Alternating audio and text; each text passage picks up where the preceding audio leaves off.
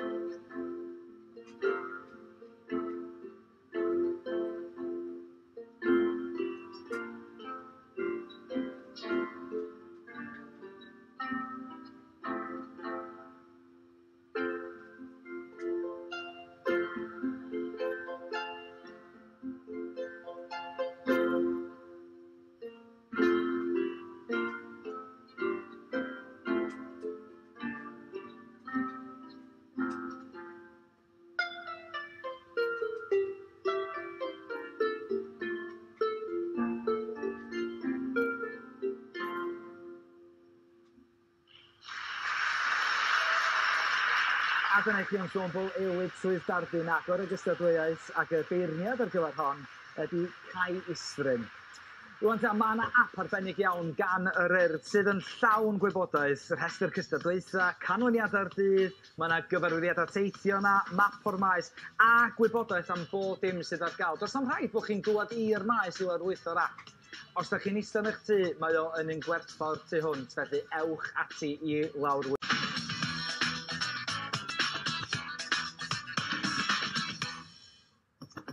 Croeso nôl ato ni i Ddinbych. A drychwch ar yr olygfa o hwnna.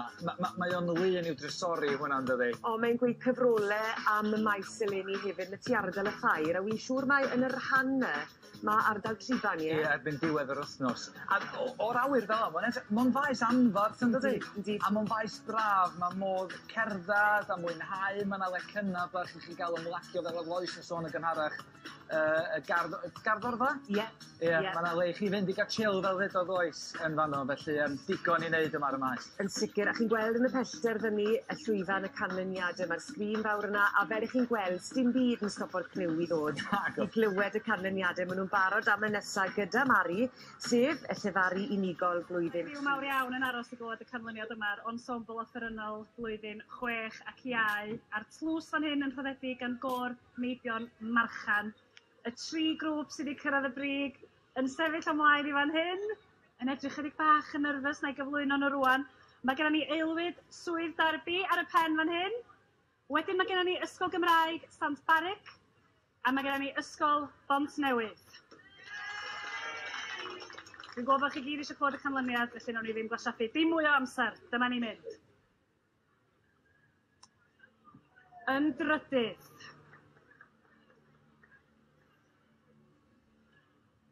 mae Ysgol Bont Newydd! Llawn Llongyfarchiadau mawr iawn i chi! yn dod yn ail heddiw mae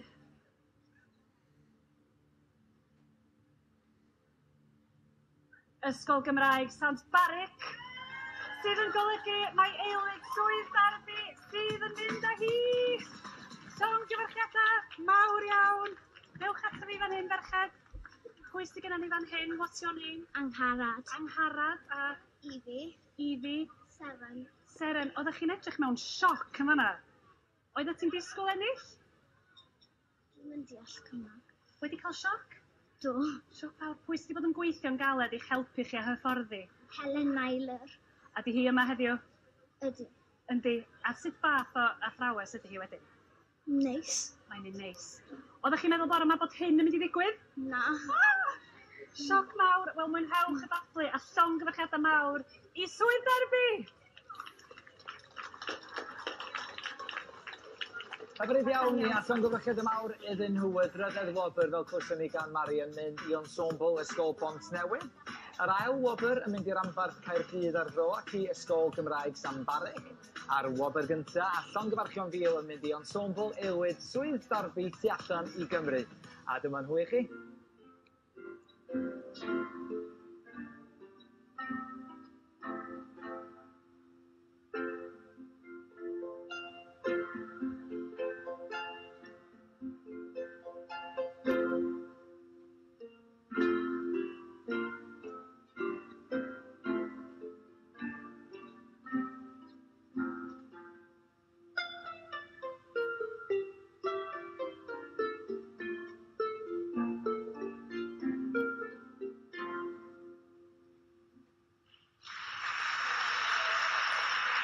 Ie, yeah, llongyfarchiadau mawr iddyn nhw o swydd Darby. Gwych dros ben.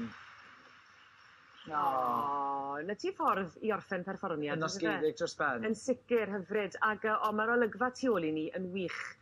Bach o law di dod, ond dwi'n amharu dim o gwbl ar y bobl. Mae yna growd a mae yna griw mawr o dan yr ymbarel y tu fas yn dos i'r llwyfan y canlyniadau. Da ni yy yn ystod y perfformiadau gallu, da 'dan ni'n caru bit bach yn dydan da ni'n mynd fel hyn weithiau i gael busnesu wel pwsio o gwmpas. Ie yn union. Dydan ni mewn lle perffaith. yn fa'ma. Mae e mae e, siwto ni berffeth. Iawn te mae'r cystadlu yn parhau hmm. a'r gystadlu...